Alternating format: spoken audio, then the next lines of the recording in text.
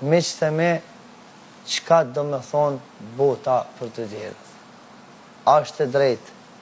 Nuk është e drejtë? A e vulosëm fatin tonë ne? Jo. Sepse këto e ka në dorë veç i madhi Allah.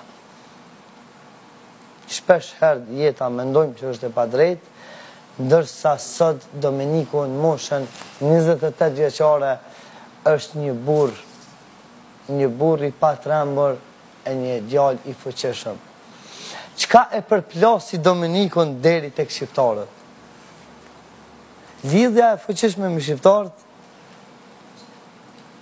do thotë shumë për ne, sepse diaspora jonë legjendare, përpos që na mbajti gjithmonë Ajo paska qenë një ambasadorë për neve, sepse na paska pasqyru n'mënyrën ma të mirë të mundshme nëpër Evropë e nëpër çdo pjesë të botës.